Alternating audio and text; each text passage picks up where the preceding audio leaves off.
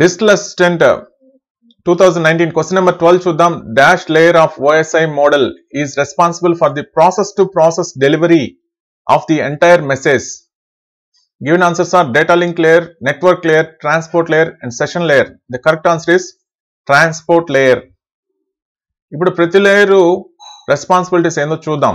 ఎందుకంటే ఇప్పుడు మనకి ఈ క్వశ్చన్లో ట్రాన్స్పోర్ట్ లేయర్ గురించి అడిగారు.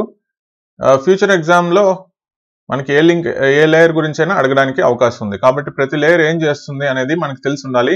ఒకసారి చూద్దాం. చూడండి ఇక్కడ క్లియర్గా ఇచ్చినారు physical layer physical layer. It provides a physical medium through which bits are transmitted physical medium అంటే వైర్స్ అనమాట కోయాక్సెల్ కేబుల్ అదేవిధంగా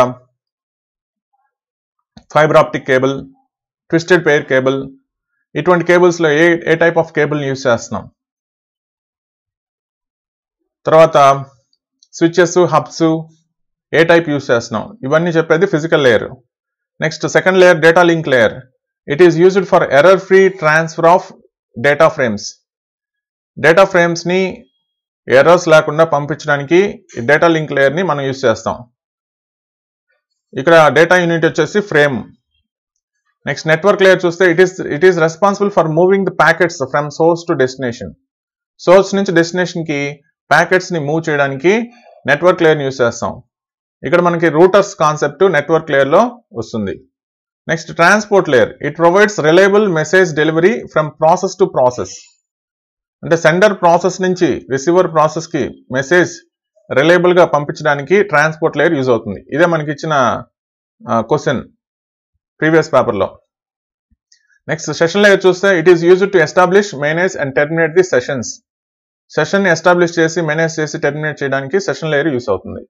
నెక్స్ట్ ప్రెజెంటేషన్ లేయర్ కూడా important it is responsible for translation compression and encryption so ఈ bit కూడా చాలాసార్లు అడుగున్నారు. Net net ఎగ్జామ్లో set ఎగ్జామ్లో. ఎన్క్రిప్షన్ ఏ లేయర్లో జరుగుతుంది అని. ఎన్క్రిప్షన్ ఎప్పుడు కూడా ఏ లేయర్లో జరుగుతుంది? ప్రెజెంటేషన్ లేయర్లో జరుగుతుంది. ఫైనల్గా application layer this layer provides the services to the user different types of protocols use చేసి యూజర్స్కి సర్వీసెస్ని ప్రొవైడ్ చేయడానికి అప్లికేషన్ లేయర్ యూజ్ అవుతుంది. అప్లికేషన్ లేయర్ రెస్పాన్సిబిలిటీ అది. కాబట్టి ఇవి మెయిన్ బేసిక్ రెస్పాన్సిబిలిటీస్ ఈ రెస్పాన్సిబిలిటీస్ మనం గుర్తుపెట్టుకుంటే ఖచ్చితంగా ఒక బిట్ దీని నుంచి ఖచ్చితంగా నెక్స్ట్ ఎగ్జామ్లో కంపల్సరీ రిపీట్ అవుతుంది. So OSI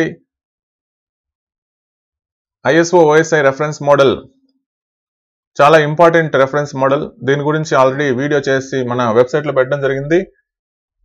కంప్లీట్ నాలెడ్జ్ కోసం ఆ వీడియో ఒకసారి చూడండి. That's all for now